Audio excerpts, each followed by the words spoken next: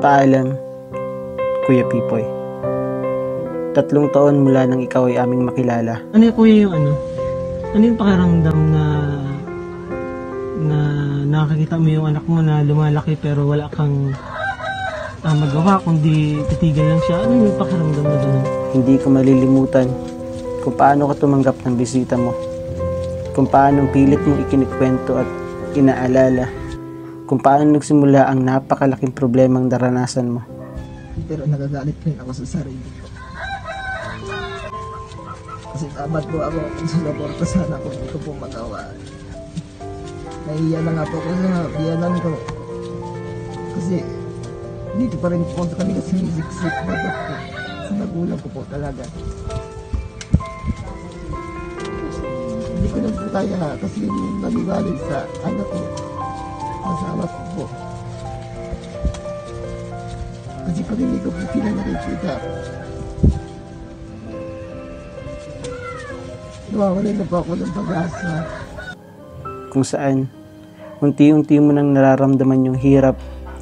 Hindi lang dahil sa kalagayan mo, kundi dahil sa iyong anak.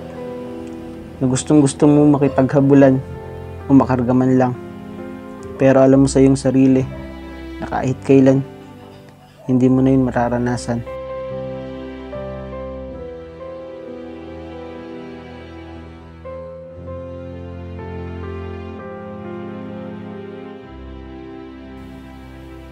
Pero hindi ka sumuko. Sabi mo pa sa akin dati, ang gusto mo lang ay makitang lumaki ang anak mo. Masaya ka na doon. Alam namin na marami ka pang gustong gawin. Pero dyan, wala ka nang mararamdamang sakit. Hindi ka na mahirapan. Patawadin mo din ako, Kuya Poy, kung hindi kita agad natulungan.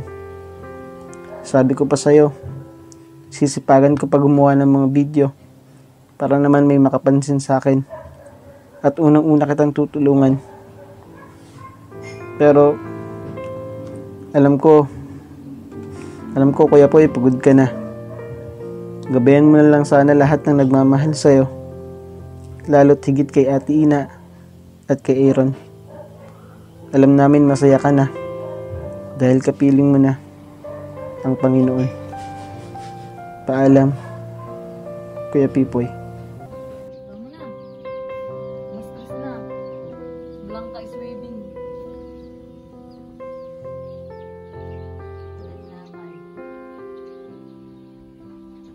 Amen.